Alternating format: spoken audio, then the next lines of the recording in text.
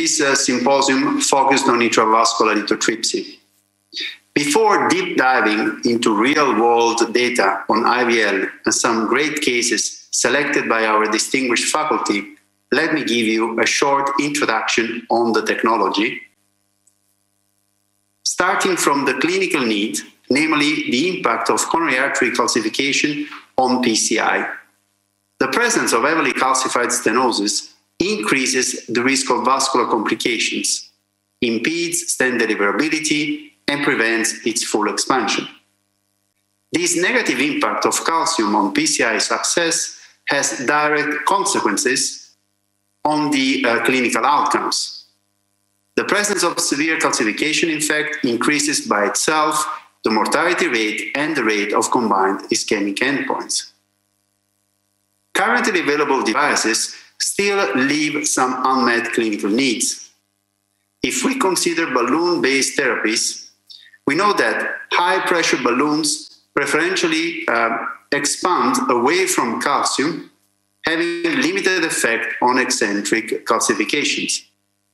High pressure inflations are predisposed to major dissection and perforation, often at interface between calcium and healthy tissues. These issues are largely overcome by atherectomy devices that yet bear some shortcomings in vessels with large lumens and deep calcium location. In bifurcations where the operator might feel the need to protect the side branch and in tortuous calcified arteries where the risk of complication might increase. These potential issues are overcome by intravascular lithotripsy. How does it work? Within the shockwave balloon, miniaturized emitters are able to generate vapor bubbles that create short bursts of sonic pressure waves that travel through the vessel with an effective pressure of about 50 atmospheres.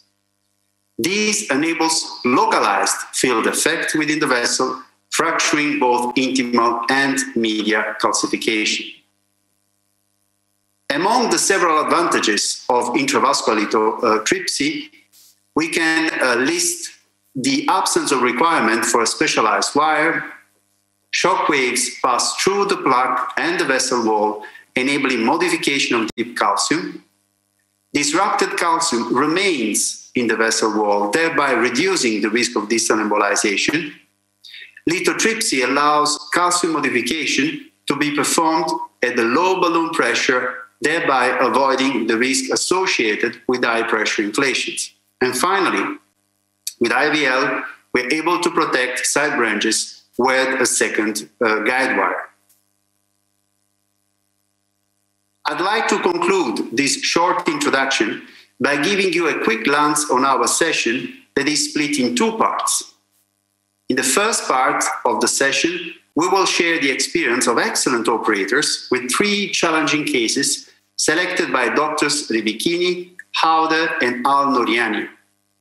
At the end, we will have a live discussion with the operators who will be very happy to address your questions.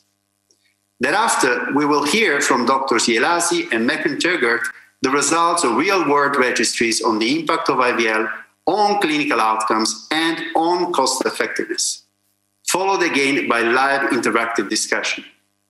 So sit back and enjoy this exciting session. Hello.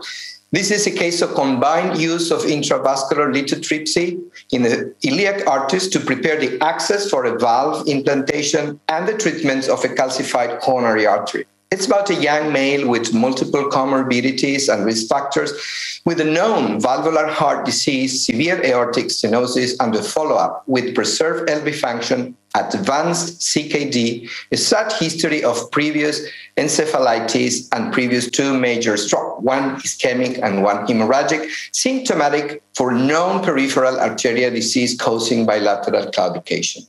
The patient came to our observation and was actually admitted at the intensive care unit because of an acute decompensation and acute pulmonary edema, as you can appreciate at the X ray, and initial movement of troponin. He needed non invasive ventilation and massive doses of diuretics, but in the following hours, it was clear that the compensation was due to additional anterior myocardial wall ischemia to his history of severe aortic stenosis. So he was sent for emergency coronary angiogram and balloon counterpulsation. But as you can see in the angiography, we found this uh, expected peripheral vascular disease with subocclusive stenosis on the two common iliac arteries. So we reverted to a radial access and uh, we found this severe coronary artery disease at the level of the anterior uh, descendant artery, proximal stenosis, very calcified. Due to the complexity and the young age of the patient, he was sent to the CCU for a heart team discussion. The surgeon, of course, agreed with the combined surgery on the valve and the artery, but due to the previous cerebral damages the patient had himself, anyway, able to decide, and his family categorically refused the surgery and preferred an option for TAVI plus PCI.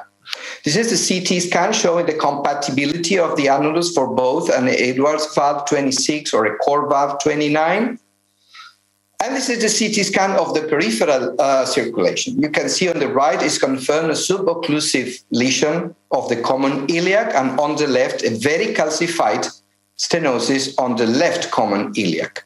So the strategy was planning to use IVL to prepare the way from the transfemoral access instead of using a transapical, doing the procedure with a balloon expandable because of the nice introducer it has, the 14 French, which would be helpful to perform the PTA. I was guidance on the coronary to decide whether IVL might be necessary also on the coronaries everything performed in local anesthesia and by percutaneous approach. So we start with a nice demonstration of the composition of the plaque on the iliacs. On the right, as you can see, as suggested by, by CT, there is no calcium. It's a soft plaque. And then after the crossover from the, the right to the left, we analyzed the left uh, stenosis, which is instead strongly calcified and very tight. It's a subocclusive stenosis with a lot of calcium in the transition between the common and the external left iliac artery. So what we did was starting with IVL with the balloon 660, and after two cycles, you see that the E sheath of the valve cannot cross the stenosis at the spot of the calcium. So we added more treatment with other four cycles of energy. And after that, you can appreciate this nice introducer going easily to the aorta. On the right side, we used normal PTA because it was, as you can see, the balloon uh, easily expanded, and we used this uh, artery as the uh, diagnostic way to implant the valve. The valve was implanted on the left iliac artery, and uh, given the uh, advanced CKD of the patient, we did not make a final check, but the valve implantation was okay. Well, after that, we engaged easily with an extra backup catheter, the left coronary uh, system, and perform an accurate analysis of the LAD disease, which, as you can see, shows a spot calcification on the left main, some calcium at the adioceal LAD, but then we got deep into the stenosis and we can see 180 degrees of circumferential calcium up to 270 degrees at the point of the tightest part of the lesion and 90 degrees calcification in the mid part of the LAD. So this is severe calcification, which is confirmed after this pre-test, I would say, of uh, balloon inflation. This is a non-compliant 320 millimeters balloon at high atmospheres, and you can observe that there is still some residual stenosis. So, with no further doubt, we applied IVL using the Shockwave C2 3.5 12 millimeters balloon in this proximal LAD lesion at the points of this maximum calcification. And on the right side of the slide, you can appreciate very nice images of the site of plaque rupture after the, application of the IVL treatment with the shockwave balloon. So the rest is, uh, uh, you can see here the nice inflation of the shockwave balloon. The rest is uh, conventional angioplasty. This is the navigation of uh, 326 on stent in the mid uh, uh, LAD. And you can see how underexpanded it looks in the IVUS imaging after stent implantation, despite the use of high pressures. And so what we did was uh, uh, finalizing the treatment with an additional stent on the proximal part because of a residual plaque and they post dilatation at high pressure with a 4O non compliant balloon at high atmospheres. So, uh, this is the coronary treatment with the final angiographic result, a very nice angiographic image of the proximal and mid LAD, which is confirmed with the IVUS observation, especially at the point of the maximum calcification, where you see an acceptable expansion of the intravascular endoprothesis. Before closing the percutaneous access, we did this final check. We see the stenosis on the right where we had a soft plaque. And so we decided to implant a self expandable stent at the level of the uh, right uh, common iliac artery.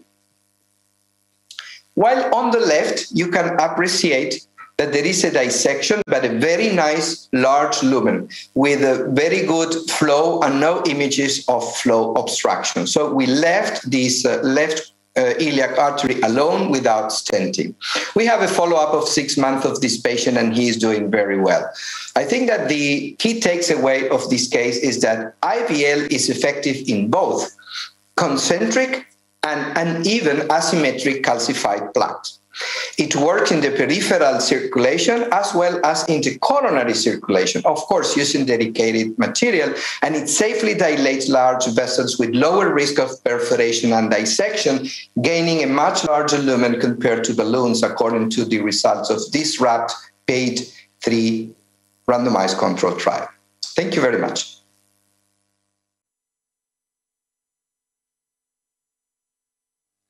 So it's my, my pleasure to share with you a case of a patient, a high risk patient with left main disease in whom we used IVL.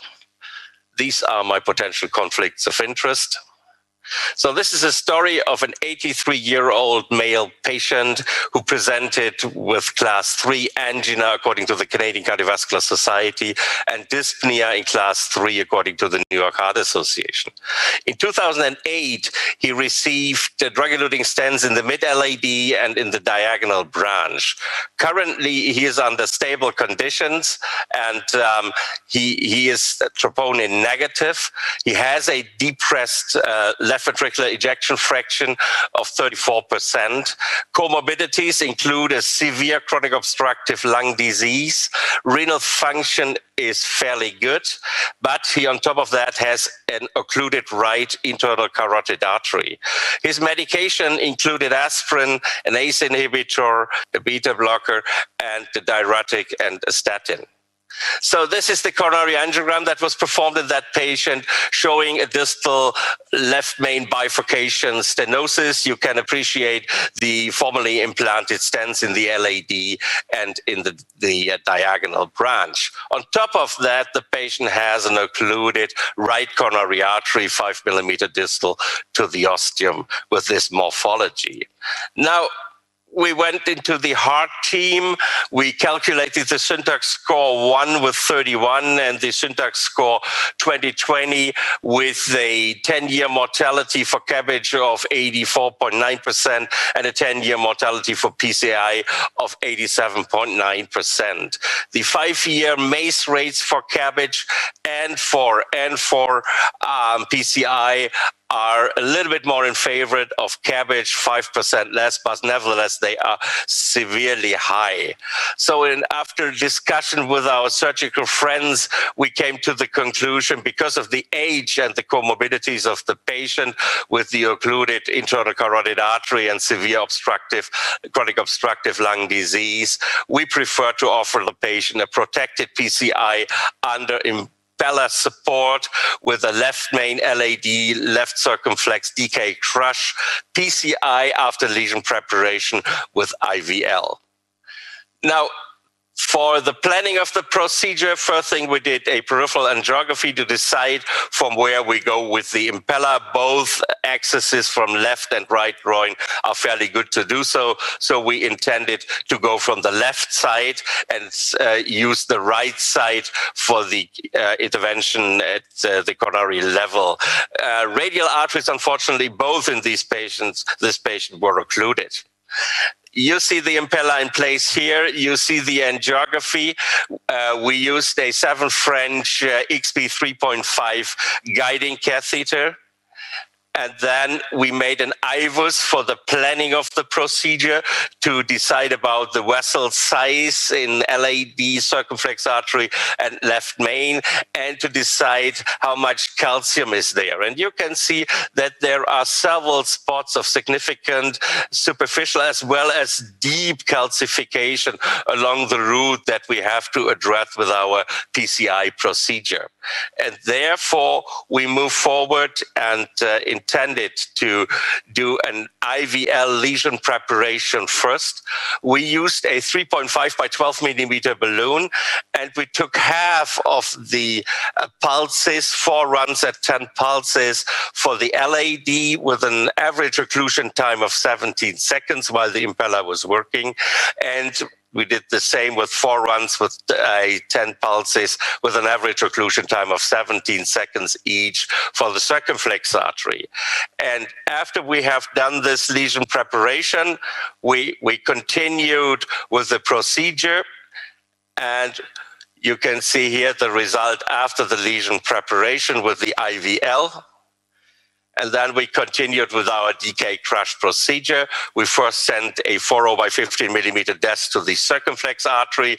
This was crushed with a uh, 4 balloon, NC balloon. Then we did the first kissing 240 balloons in the circumflex and LAD into the left main, followed by a positioning of the uh, stent, the DES in the in the um, left main to LAD. You can see we used a 4 here according to the distal size of the LAD, and then that was implanted on the left side, and POT was performed with a 5.5 millimeter balloon in order to achieve apposition of the struts in the left main. Then we did the second crush procedure after rewiring again twice four O balloons in the LAD and circumflex artery. And then we have the final pot procedure being done with a 5.5 millimeter balloon in the, in the left main again. This is the final angiographic result that has been achieved in that patient. I think fairly good opening of that distal stenosis in the left main. And if we look in the IVUS evaluation at the end, you can see a well apposition of the struts in the LAD, the circumflex artery, and the left main. And you can see that we have achieved nice round lumen. All the calcium was pushed outside with uh, facilitation of the IVL lesion preparation.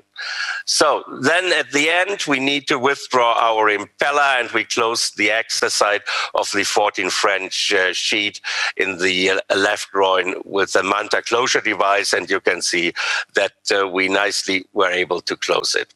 So this was the case uh, showing that you can use um, IVL in uh, significant left main disease uh, with a support, hemodynamic support of an Impella for making the whole procedure much, much safer and achieving a very good lesion preparation before start working there with stents.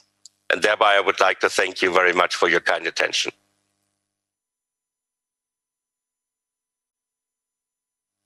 Good morning, everyone. Uh, welcome to EuroPCR 2021 in this exceptional environment we will be presenting about management of eccentric calcific lesion using shockwave. Uh, I'm Dr. Arif Nooryani from MOHAP, Ministry of Health and Prevention, United Arab Emirates, Al Qasimi Hospital. I have no conflict of interest.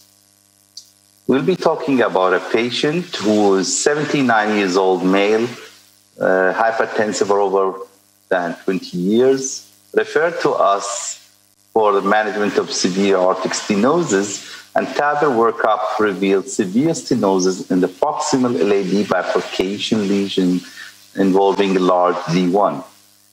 After long discussion with the heart team, uh, and due to the patient preference, the decision was to go for PCI than TAVR, and then TAVR. So, in the first image on the left side, we can clearly see a true bifurcation, uh, Medina class 111, involving moderately sized diagonal, which has diffuse disease involving the ostium with some kind of calcification, and the LAD showing two lesions. One is distal to the bifurcation, the second is proximal, probably involving the diagonal, which will be showing very soon that the the true calcification is more in a, on a different or in a different segment. On the right side is from another projection. Then here we have decided to go with an imaging and understand the characteristics of these lesions before uh, proceeding further. But strategically, we have decided to go for two stent strategy because this diagonal is an important vessel and we don't want by any means to lose this branch. And the IVUS that being conducted showing from the distal already diffusely kind of disease, showing kind of soft plaque, fibrotic a bit distally, the more we come proximally, we see more kind of fibrocalcific and tight lesion, as we have seen here and demonstrated before in the angiography uh, lesion. And then coming close to the bifurcation, which shows uh, the second wire coming in, and proximally there's another eccentric lesion, but not much, but more proximal, we can see really more eccentric uh, calcified lesion, almost 270 degree, and which we thought uh, shockwave or any kind of lesion modification would be of great help to optimize our outcome. This is another still image. Then we have decided here to go with a 2-5 cutting balloon to prepare the diagonal first, as we thought uh, that is also needed since we have decided to go for DK crush technique and not to have any chance of missing or having challenges of recrossing the diagonal, followed by a placement of the 2523 DES. Then this was crushed, the, the ostium, using a 3.5 NC balloon with a good result at the diagonal site. Later, we went to predilate the distal LAD. We thought could be, uh, uh, I mean, we could have saved ourselves using another shockwave due to cost effectiveness sometimes also, but uh, we, we saw that this was some kind of waste there and uh, after sometime we decided to go better with a shockwave.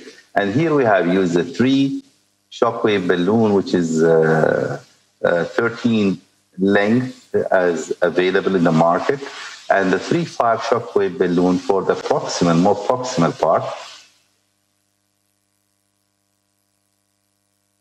And then, as we routinely also using a post dilating to optimize the pre-dilatation and preparation of the lesion using an NC balloon that was with a 3 NC distally and a 3-5 proximally. Finally, we decided to go with one stent, the 3530 ADS, which covered both lesions. And here we can appreciate the placement of the stent. And in the second on the right, we can see the inflation and expansion of the stent without any residual waste, which means that we have done a very good, successfully uh, preparation of the lesion. That the rest is the routine with a DK crush, uh, second DK crush balloon, 2.5 with a 3, and then final pot to optimize the proximal part that we do routinely as well. Here we can see a still image of the diagonal proximally in the stent segment. And the right side, on the right side, we see the LAD and the stent beautifully expanded and will oppose to the wall. Final angiogram showing fantastic result at the bifurcation, which we believe that wouldn't been achieved without using uh, our magic touch of shockwave in this case. So, tips in the management of eccentric calcified lesions, the changes that we would like to suggest that um, more number of shocks are required to modify the eccentric lesion uh, than the concentric one, and uh, also in the long lesions, uh, certainly.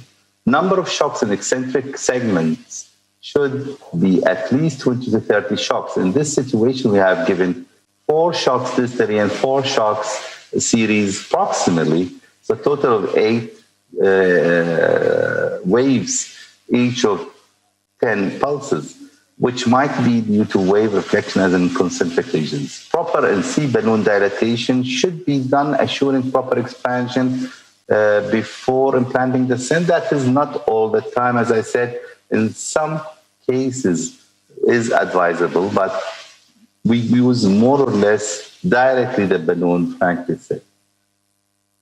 Shockwave technology is effective in treating eccentric calcific lesions identification of eccentricity should be done mainly by intravascular imaging rather than angiography. We have shown and demonstrated very well in this case that proximal at the bifurcation was not showing uh, much than the left uh, the, with the imaging that showed proximally the lesion.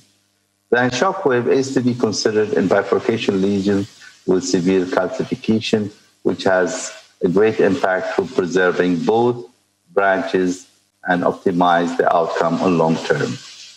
Thank you. Thank you very much to all the three speakers who selected for us excellent cases. I invite uh, Arif, uh, Michael, and Flavio to open their microphone and join us the discussion with, with the discussion. I have to thank Olga Neff, our chat master, who's doing a great job in the chat, uh, encouraging questions and trying to address comments of the colleagues.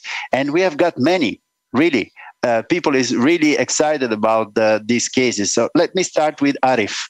Arif, you showed us a nice um, demonstration of uh, intravascular lithotripsy uh, equally effective to treat not just concentric lesions but also eccentric lesions. So the first question to you from one of our co colleagues is whether this technology works also in calcified nodules.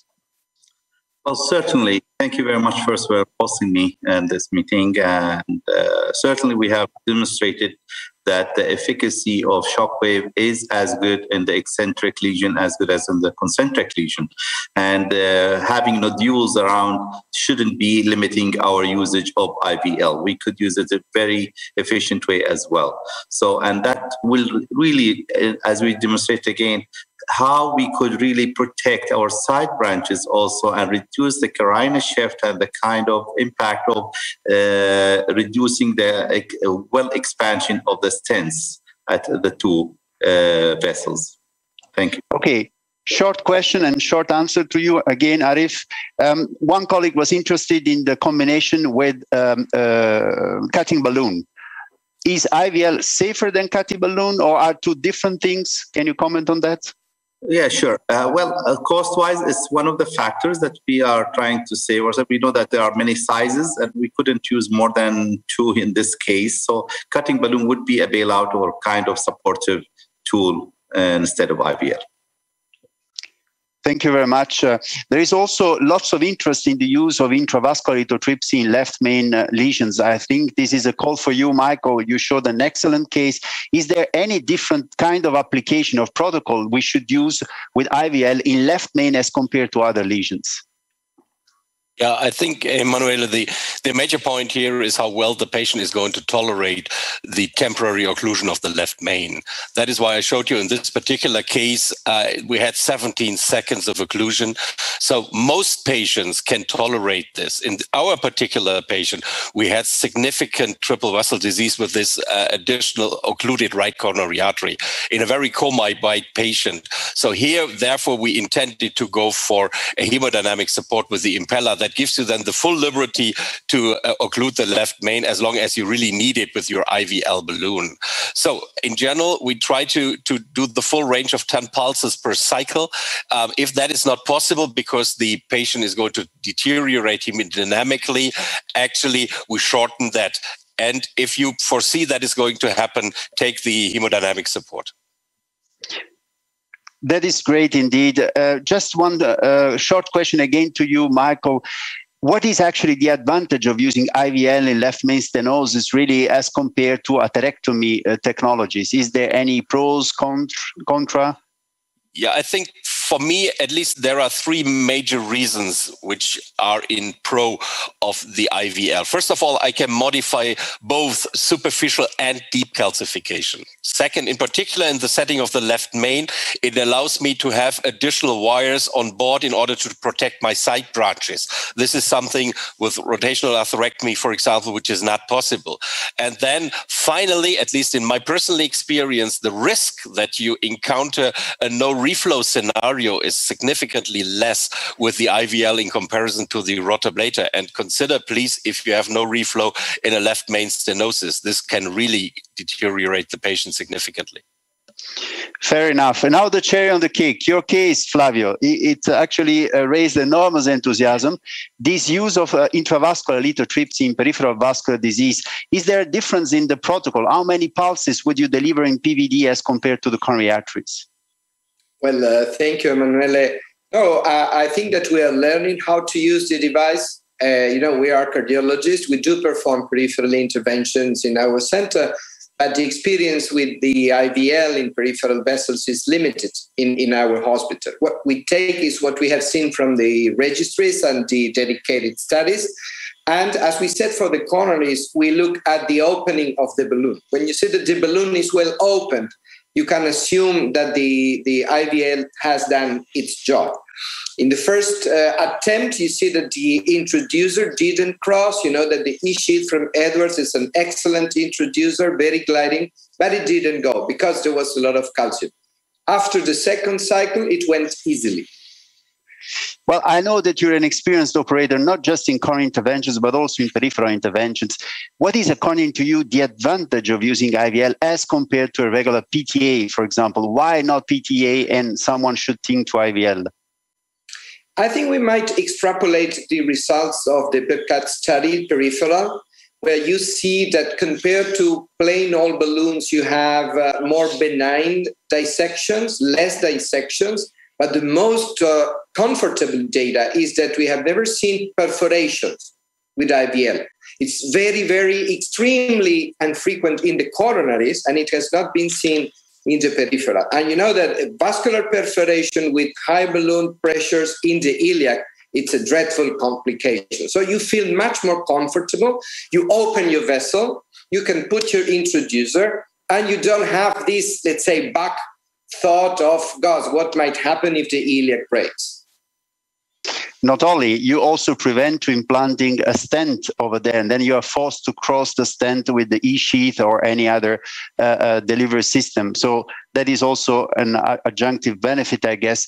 There is one colleague who is uh, curious to understand why did you perform tavi first and then pci wouldn't have been easier to do pci first also considering possible challenge to position your guiding catheter in the coronary artery. What is your guess on that well, you know, I don't like iffy jokes. That, that's a short question. nah, nah. But there is a very clear physiologic explanation for that. And, and, and like what Arif showed, treat the coronaries before, uh, it's a rule in my center that we always treat the the valve before because anything that might happen on the coronaries when you have complex calcified lesions will be better tolerated once you have get rid of the LV obstruction. So uh, we are never, let's say, worried about the possibility of the coronary access. This is either for the balloon expandables or for the self-expandable valves. We get rid of the aortic stenosis and then we consider the, the coronary lesion. In this case, we treated the lesion during the same procedure because the patient had actually an acute coronary syndrome that might be or could be a good indication to treat the coronary first. But Flavio. in 99% of cases, the coronary lesion is found just by chance. And this is why we Flavio. left it. Thank you. Actually, these are great arguments. There are colleagues asking what, what is the risk of complications there? What are the data supporting all this? I think it's high time now to listen to the two clinical lectures that will focus on this aspect. Thank you very much.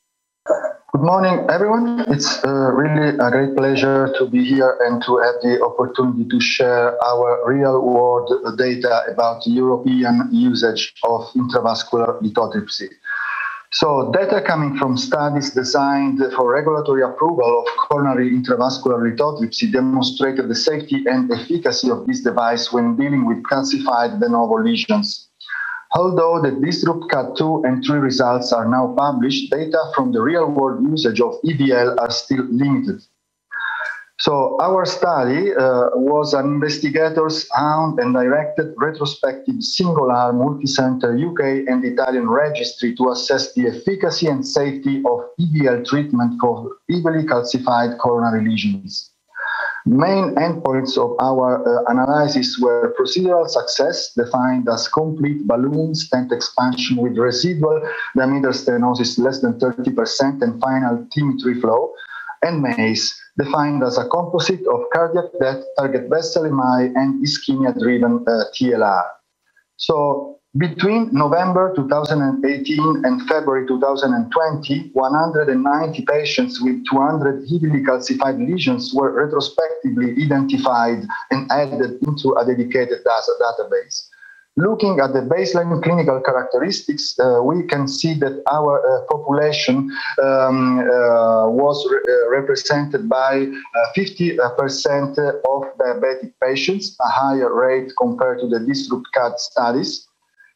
53% of the patients uh, underwent prior uh, PCI, and 48% of the patients uh, treated uh, were admitted because of acute coronary syndrome. And even these characteristics was completely different compared to the DisruptCAD studies. Looking at the lesion and procedural characteristics, we can see that 23% of the lesions treated were in-stent uh, restenosis or neo-atherosclerotic lesions.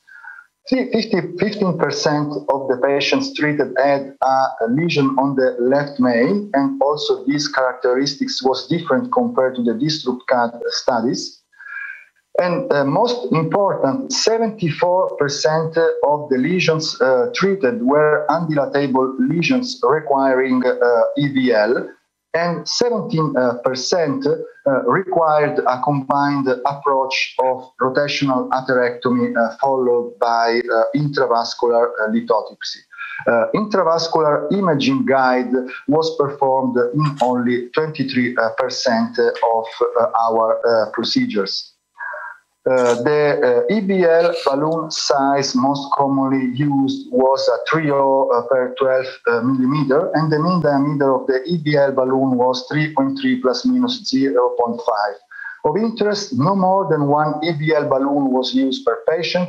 10 patients had more than one lesion treated with IVL but with the same IVL balloon. No cases where we needed two different size balloons in each case were reported. So this is a case example of a patient uh, enrolled in our registry. Uh, she is a 70, uh, 67 year old female with chronic kidney disease. She underwent prior surgical uh, and percutaneous uh, revascularization, and the lady has a, a severe um, left ventricle dysfunction with an EF of 27%. She was admitted to our unit because of chest pain and and effort uh, dyspnea. And uh, after coronary uh, angiogram, we showed a functionally occluded, occluded left internal mammary artery a complete occlusion of the uh, to the ramus, uh, a patent SVG to the PDA, uh, and uh, um, a severe stenosis on the ostial proximal left circ.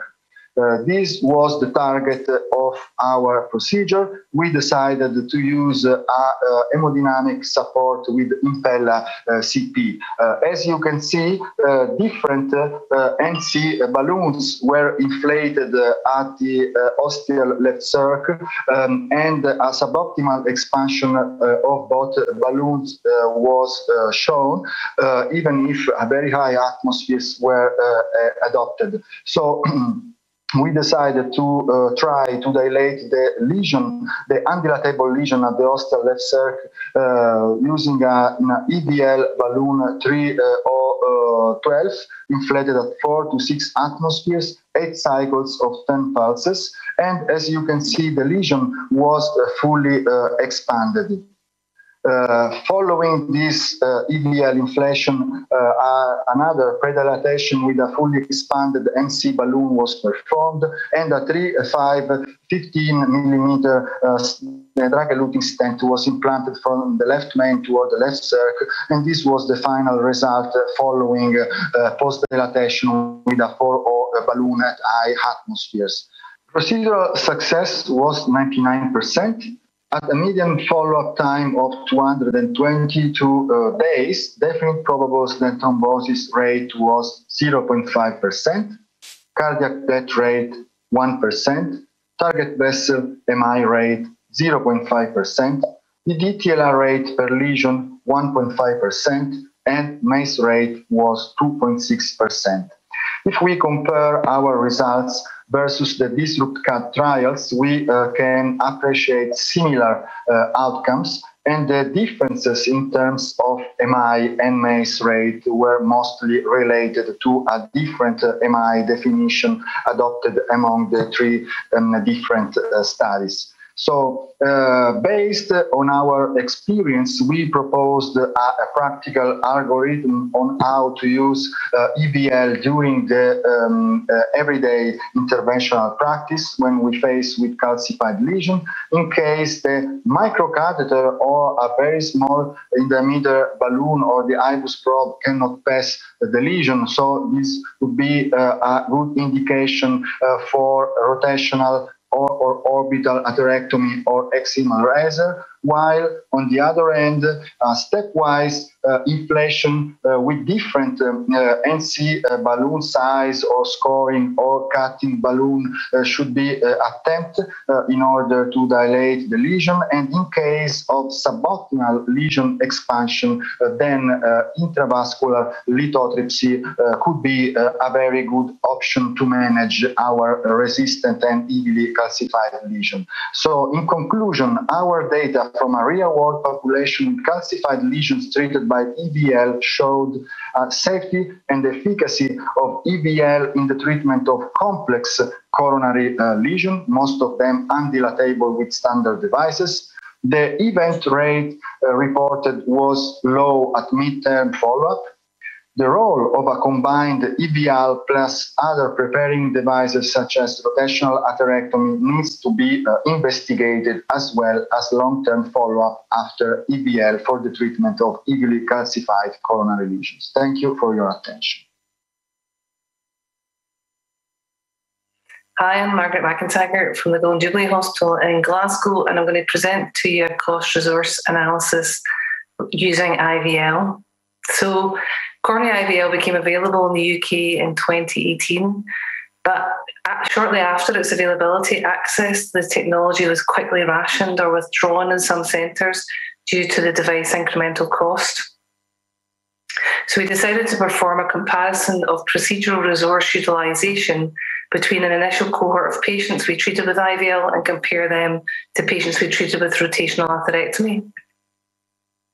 So we looked at a prospective cohort of cases treated with IVL and we compared them to a retrospective cohort of patients treated with rotational atherectomy. we're able to obtain demographic and procedural data from an electronic database we use for all our cases. And we were able to, to obtain consumable utilization data from an electronic inventory management system that we routinely use in our cath lab. So, in this initial analysis, we were able to see really the, the only difference we could see in terms of uh, consumables was that we used less guide wires in the IVL cases and numerically less balloons. There was no real dramatic initial difference uh, in the resource utilisation. When we looked specifically at guide extensions, we were able to see that we're using guide extensions in almost a third of patients with rotational atherectomy, but only one in eight patients who were having IVL. So, on our initial look at cost, it looked like the IVL procedures were more expensive, although not quite significantly, than the rotablation cases. But if you look closely, you'll see there's a big outlier, very expensive case here in the IVL group, which was an extremely complicated case. It had multiple uh, atherectomy devices, IVLs, and other calcium modification devices used in that case. Furthermore, when we looked into the IVL cases in the bigger group, there was a further four cases that had rotashock, so rotablation and IVL used in the same case. So if we separated these out, in fact, what we saw was there was no cost differential between the IVL cases and the rotablation cases, and the rotashock cases were more expensive than when you used each of the devices alone. So obviously the limitation of this initial analysis was it was a small sample size. It was our initial experience with this new technology. We didn't take into, consider- into consideration the complexity of the disease that was being treated. We're comparing a retrospective to a prospective cohort. We felt that we needed to go on and perform some further analysis to confirm what we'd found. So we were able to obtain cost data from the Disrupt CAD 2 study and decided therefore to go on and compare that patient cohort with our rotational patient cohort and the cost of those procedures. So from Disrupt CAD 2, we had 120 case, cases treated with IVL. And what we did was we retrospectively went back and looked at our rotablation cases, and three of the interventional cardiologists who performed rotational atherectomy and IVL adjudicated 60 cases that we thought were suitable for both technologies. All these lesions were single de novo calcified lesions. So we went on to compare equipment utilization. We're able to see that in Disrupt CAD 3, they used significantly less balloons, guide wires, guide catheters, guide extensions, and drug eluting stents than we had used in these 60 retrospective rotational atherectomy cases.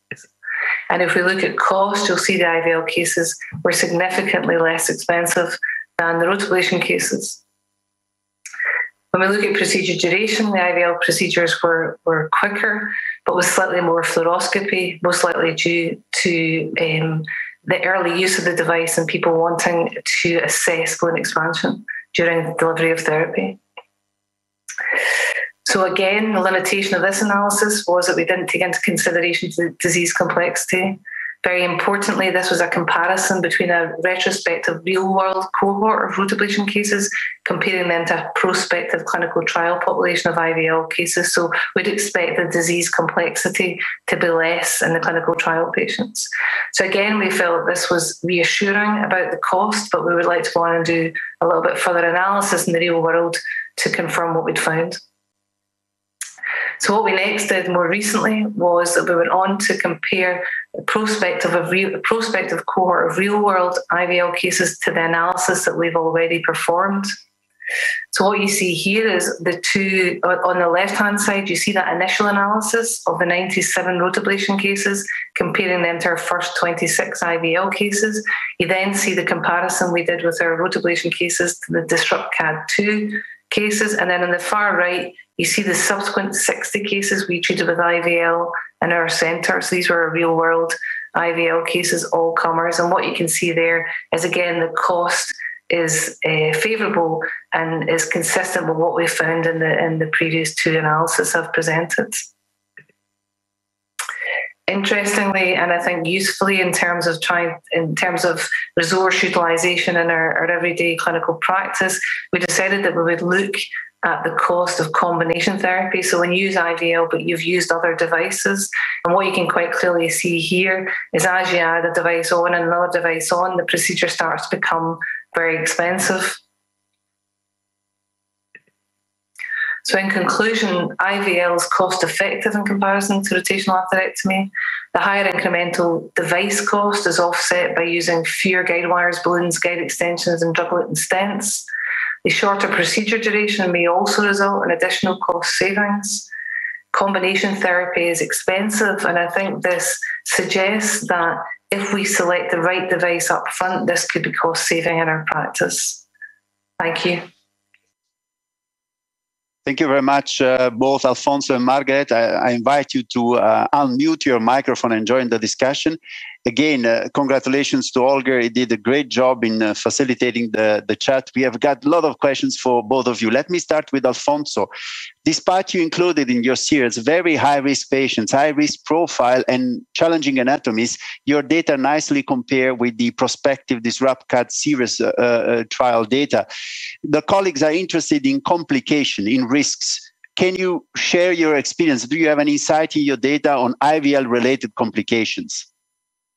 Thank you for your question, Emanuele. Mm, uh, in our registry, we had no complications such as arrhythmias, balloon entrapment, or no-reflow phenomenon due to IVL balloon rupture, which was described up to 9% in other series. On the other hand, we reported six cases of coronary perforation. One was type 1 on Ellis classification, three were type 2, and the remaining two were type 3.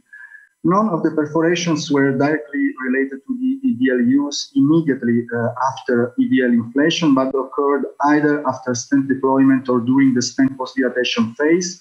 All the type 3 and one of the type 2 perforations needed covered stents, whereas the rest of perforations settled with the prolonged balloon inflation at low pressure.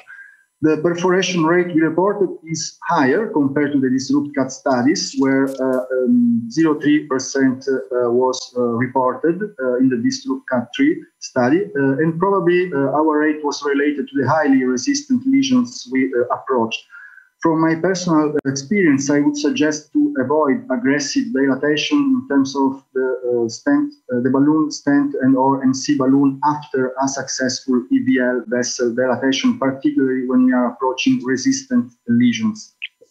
Thank you, Alfonso. Uh, Margaret, uh, one of the comments from the colleagues was about uh, uh the following. He doesn't have OCT IVUS in his cath lab. Uh, so uh, how can he decide whether to use right away IVL just based on the angiogram?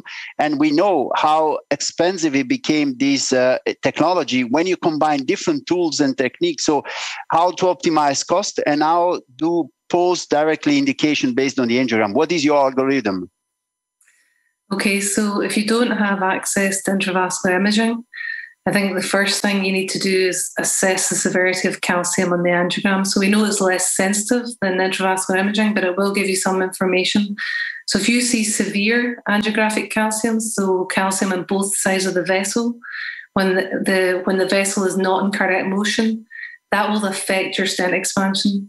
So you're really thinking you're going to need to use a a calcium modification device in that situation. So severe angiographic calcium, both sides of the vessel, I would suggest IVL is a good initial strategy in that situation. I think if you see what looks like angiographically nodular calcium, that's a slightly different scenario. And maybe that might be a situation in which if you have to choose one device, you would maybe choose atherectomy. Another useful technique is to do a balloon palpation. So you take a one to one non compliant balloon as you can size it on your angiogram as best you can and you inflate that balloon and you check expansion on two contralateral views to ensure that you're seeing adequate balloon expansion. And that might give you confidence to go on without further calcium modification. But that would be my advice if you don't have access to imaging. Obviously, if you have imaging, that's going to be your gold standard. Great. Thank you very much. Very clear points. Now back to Alfonso. Short uh, question. I hope short answer. Any issue to use IVL balloon in ACS patients? Um, no, uh, in my opinion, I have no uh, particular concerns about the use of this kind of device in ACS patients because, of course, we are talking about resistant lesions. So even if some thrombus could be uh, seen at the level uh, of the lesion, uh, once we uh, predilate with a um, NC balloon, seeing a suboptimal expansion of the lesion, I have no major problems to approach uh, calcified lesions with IVL even in ACS patients. Thank you very much. And now, uh, two last remaining points for Margaret. So, uh, one of the colleagues is interested in knowing the uh, adoption of IVL in SVGs, saphenous vein grafts. I know that you have some experience there.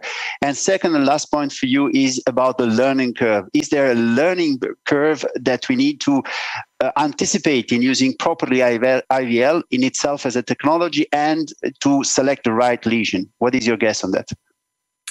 So we'll start with the learning curve. So the use of the device has no learning curve. As soon as somebody teaches you how to plug it into the, the console, um, then it's incredibly straightforward. It's essentially just balloon dilatation with activation of therapy by pressing the button on the, the handle of the device. So once someone's shown you to use it once, it's very user friendly. And I think that's one of the major advantages of the device because it means that people who are not comfortable with atherectomy are able to use it in the middle of the night on the weekend dealing with STEMIs and STEMIs, whatever the case is. Thank you very much. I think it is uh, now time to wrap up this session. I want to thank again Holger for the excellent job done in the chat the three operators that had joined us in the first part of the session, and of course, Alfonso and Margaret. Let me just summarize the key points we learned today. First, IVL is uh, only the sky's limit. Basically, they showed us, the colleagues, that we can use IVL in peripheral vascular disease, in aortic stenosis patients, patients with reduced LV function, left main disease. Secondly, we learned from the series of Alfonso that it is a safe technology. There's not much complications going on. And third, uh, but also important, the learning curve is extremely short and it can become cost effective this device if you use it properly and if you select properly the lesion setting where to adopt this there were many other questions in the chat that we couldn't address more specifically related to uh, the indication to PCI in the context of aortic stenosis and in bifurcation lesions, I uh, invite you to join dedicated session at EuroPCR on these topics. Thank you very much for being with us.